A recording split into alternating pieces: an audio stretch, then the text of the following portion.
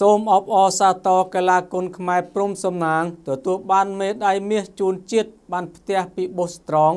បរិយ S Land and Home Boost Strong Power Plus Power to Win សូមចូលរួមអបអរដល់កម្ពុជាកីឡាករគុនខ្មែរព្រំសំណាង ដែលបានយកជ័យជំនះលើកីឡាករមីយ៉ាន់ម៉ាទុនទុនមីនកាលពីថ្ងៃទី11ខែឧសភាថ្មីថ្មីនេះទីបំផុតវិញ្ញាសាគុនខ្មែរប្រភេទគីឡូ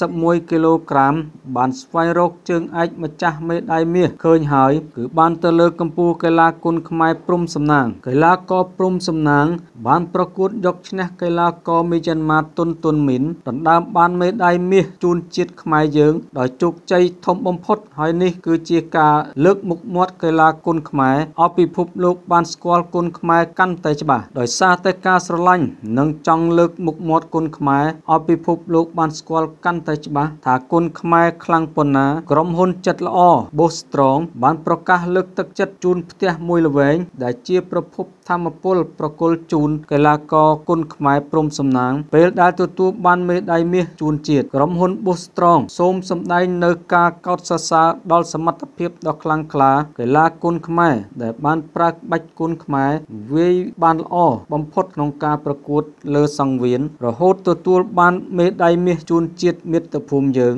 ដូចនេះហើយកីឡាករគុនខ្មែរព្រំសំណាងពិតជាស័ក្តិសមនឹងទទួលបានផ្ទះថ្មីពីក្រុមហ៊ុនចិត្តល្អ Boostrong strong ណាស់